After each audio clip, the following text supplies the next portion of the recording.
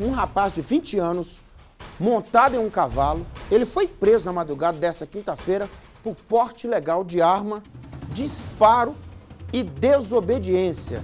Essa aí era a arma, né, que estava com ele. Segundo a polícia, o homem teria feito disparos no bairro Alegre, em Timóteo. É, a Gisele vai contar sobre isso aqui. É, Gisele. O homem estava no cavalo aí, tipo os tempos antigos, né? Não pode, né? Boa tarde para você.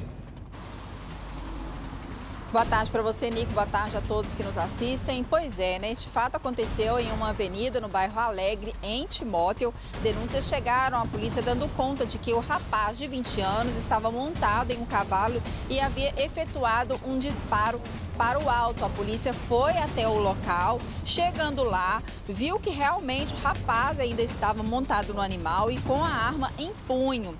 Ainda conforme a polícia militar, ao avistar os policiais, o jovem jogou o cavalo na direção de um PM que estava ali na ação e desobedeceu a ordem de largar a arma. Por conta da tentativa de agressão contra o policial militar, o rapaz ele jogou o cavalo para cima do policial, né? E contra essa tentativa de agredir o policial, o PM ele acabou efetuando dois disparos na direção do rapaz, porém os tiros não acertaram ninguém.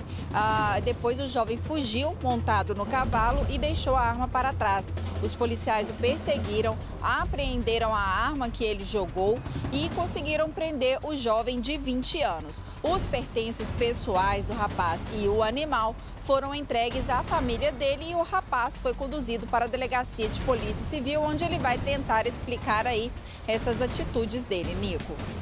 Obrigado, Gisele, por sua informação. O fato de estar montado em um cavalo é só curiosidade da ocorrência, né? Qualquer pessoa pode andar a cavalo, não tem problema. O problema aí é estar com porte legal de arma de fogo, né? Os disparos que foram feitos em via pública e a desobediência, né? Aí Aí são três crimes, né? É, são três crimes.